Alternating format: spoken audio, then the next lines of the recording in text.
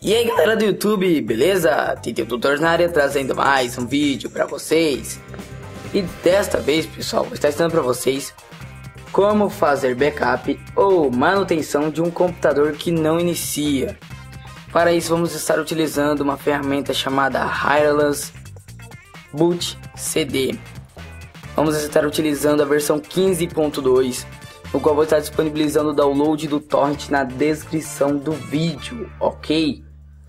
Bom pessoal, é, antes que vocês já se perguntem por que, que a minha voz está assim, é porque eu estou incrivelmente doente, né, rouco. Enfim, vamos partir para o vídeo. Uh, vocês vão estar tá baixando, né, o torrent do software, que vou estar tá disponibilizando na descrição do vídeo, como já dito, né. E aí você vai estar tá, uh, gravando a ISO no CD, né, em um CD e aí, pessoal, você vai estar tá iniciando aqui o seu computador, vai colocar o CD dentro gravadora, né? E vai estar tá iniciando o computador.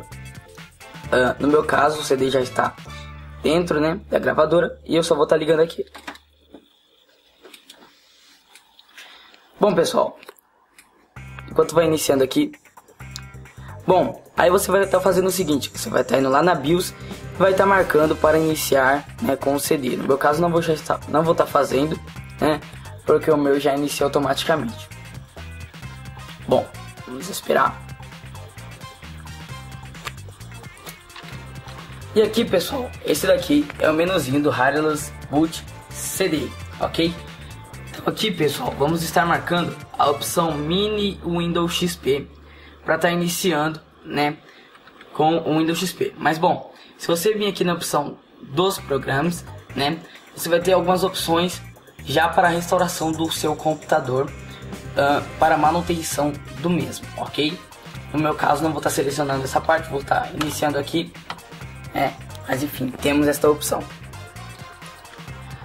Agora pessoal, vamos estar aguardando, né? Está carregando aqui o mínimo do XP Bom pessoal, já iniciou aqui né, como vocês podem ver E olha só pessoal, aqui a gente já tem algumas opções bem interessantes Temos aqui a CMD, né Eu vou estar tá deixando também pessoal uma postagem lá no meu site Onde vocês hum, vão ter alguma, alguns comandos da CMD que pode estar fazendo a manutenção do seu computador Restaurando Windows uh, e etc Fazendo uma varredura no seu HD, né? Então é interessante alguns comandos. Está disponibilizando também na descrição do vídeo, ok? Bom, partindo agora para o, o, a parte de backup, vamos estar vindo aqui em Start, Programas, lembrando que está tudo em inglês, né? Vamos aqui em Windows Explorer.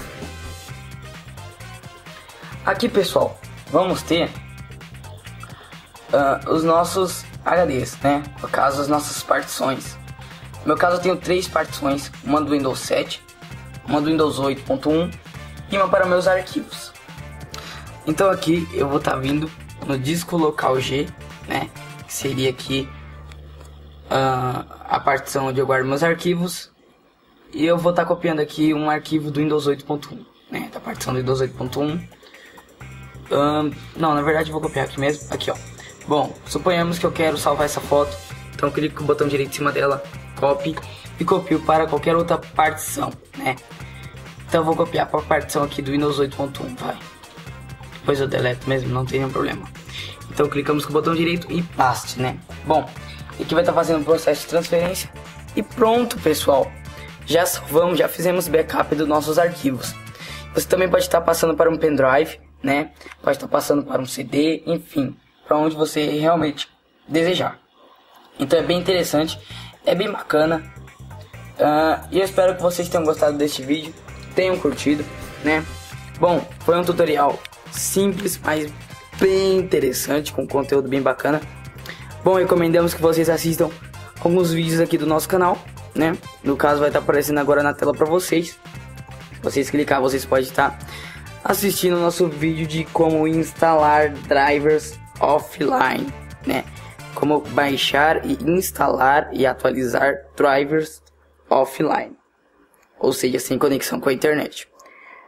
Bom, também recomendamos que vocês assistam o nosso vídeo de como aumentar a taxa de upload e também a nossa série de otimização do Windows. Bom pessoal, espero que vocês tenham gostado deste vídeo, tenham curtido. Se gostou, deixe o seu like, seu favorito, vai ajudar demais na divulgação. Comentem abaixo o que você achou deste software e se funcionou com vocês, ok? Então é isso, um abraço, valeu, fui!